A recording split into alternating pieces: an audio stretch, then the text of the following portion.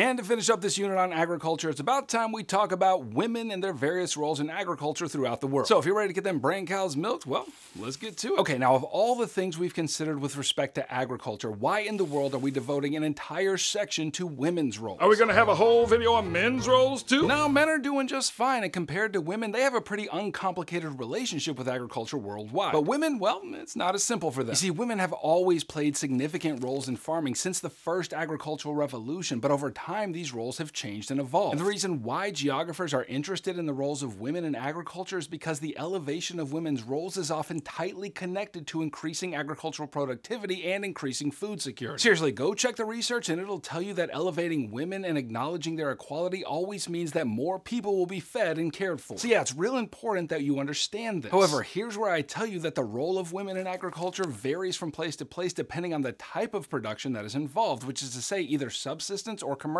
agriculture. And I'll tell you those differences forthwithly, but first let me mention that if you want to get an A in your class and a 5 on your exam in May, you might want to check out my AP Human Geography Heimler Review Guide. It's got whole unit review videos that you won't find here on YouTube, note guides to follow along, practice questions, practice exams, and answer keys for all of it. So if that's something that you're into, check it out. Okay, so let's begin by considering women's roles in places characterized by subsistence agriculture. And by the way, everything I'm about to tell you is a generalization, and these facts can vary from place to place depending on the culture and a dozen other factors. Okay, so in subsistence economies, which are typically found in periphery countries, women tend to take responsibility for all the plant-based food that is grown and eaten in the community. So if a community is going to eat a sweet potato, then women are out in the fields planting and harvesting and preparing that lovely tuber for consumption. Now to further confuse you, among women participating in subsistence agriculture, their roles also vary by the kind of subsistence agriculture in which they engage. For example, women who participate in mixed crop and livestock farming tend to focus on cultivating crops and animals close to the homestead. And that's real important work, so that means that where this kind of farming occurs, women tend to play a big role. But compare that to places in which pastoral nomadism is common, and you'll see that because many of those societies hold to more traditional gender roles, men play a much larger role while women are marginalized. For example, the Maasai people who live in sub-Saharan Africa fit this description nicely. They're all about the cow herding, and while women are permitted to participate in lower order tasks like milking the cows, only men can own the cattle. Additionally, yet another inequality women face in many subsistence economies is that they lack the legal right to own land. For example, in the Republic of the Congo, women cannot own land by law, and yet they are responsible for three quarters of the Congo's agricultural output. Okay, now let's briefly consider the role of women in places where commercial agriculture is the norm, which is to say core countries. Now, there's still a decent amount of variation in women's roles between various commercial economies, but the variation is not nearly as pronounced as it was in subsistence economies. But one comparison that's pretty clear is that way more women practice subsistence agriculture than commercial agriculture. In subsistence economies, something like half the division of labor in agriculture is made up of women. But in commercial economies, women only hold about a third of agricultural jobs, many of whom hold executive or managerial positions. Now, a major reason for this is that rascally old development I've mentioned many times in this unit, namely the Industrial Revolution. You see, because a lot of the agricultural tasks women did became mechanized, their manual labor was no longer needed in that environment. And that contributed to the larger trend in those areas defining the sphere of a woman as the keeper of the home and the rearer of children. Even so, women still participate in vital ways in commercial agriculture. And to be fair, a growing trend indicates that more and more women are taking on leadership roles in